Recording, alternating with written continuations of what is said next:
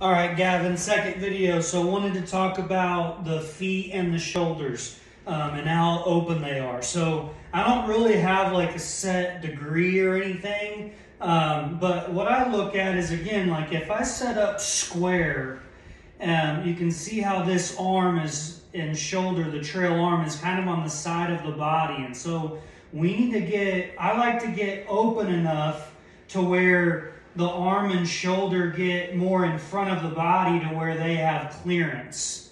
And so I basically, you know, my feet get, get pretty open um, to where this arm and hand and shoulder have some nice clearance. Um, the other thing, and here here's kind of face on, and so you know, I, I would typically, if I was setting up normal um, or square, you know, the ball position would be maybe slightly forward of center.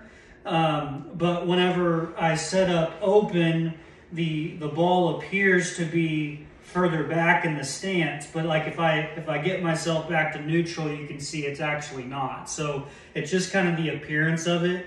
Um, but that's really what I would say. And then the path of the putter. So if I get my body open and then this arm has clearance, and I basically just feel like from the shoulder, the arm is just kind of hinging.